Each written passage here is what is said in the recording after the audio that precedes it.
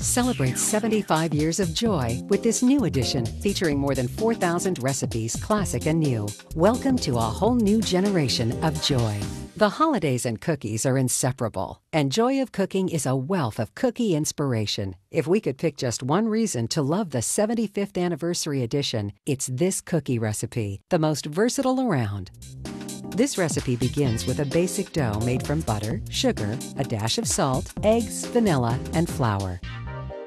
Here we have the basic dough that we've let chill in the refrigerator. This disc is a third of the dough. You'll want to work with one disc at a time. We have the oven preheating to 350 degrees. Make sure to preheat the oven 20 minutes before baking.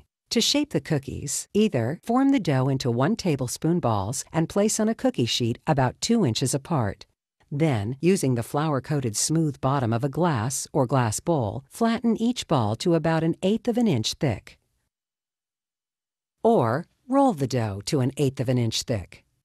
Cut into shapes and arrange about an inch apart. And now they're ready to bake. After the cookies are golden brown, about 8 to 10 minutes in a 350 degree oven, move them to a wire rack to cool completely. After they're cool, either ice or leave plain. Now that we have our base, possibilities abound.